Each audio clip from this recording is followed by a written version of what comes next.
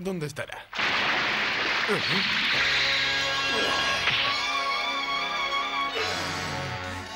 Es tú quien va a morir.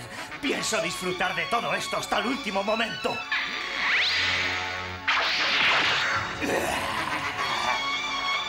Lo siento mucho. Hoy no es tu día. ¡Voy a sorberte!